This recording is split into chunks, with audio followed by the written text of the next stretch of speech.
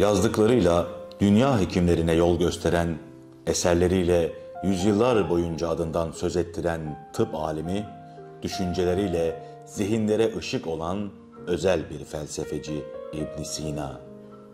İbn Sina 980 yılında Özbekistan'ın Buhara kentinin Afşan köyünde doğar.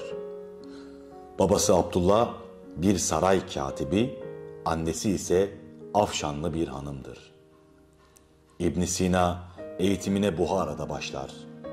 10 yaşına bile gelmeden Kur'an-ı Kerim'i hatmeder ve edebiyatı da tamamıyla öğrenir.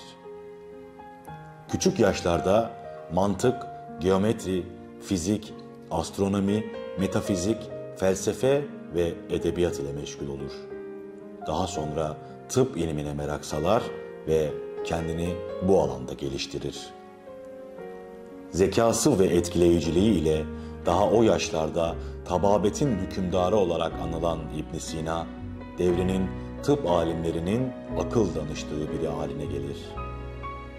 İbn Sina 16 yaşındayken Buhara emiri Nuh Mansur tarafından oğlunun hastalığına çare bulması için saraya çağrılır. Emiri iyileştiren İbn Sina, mükafat olarak sadece Buhara Sarayı'nın kütüphanesinde araştırma izni ister. İbn Sina hastalıklar hakkında araştırmalar yapar.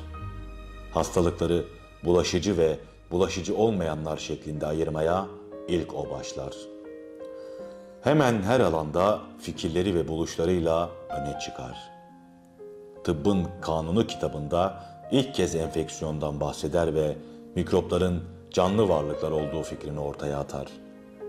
Eserleri 17 dile çevrilerek 700 yıl boyunca üniversitelerde ders kitabı olarak okutulur.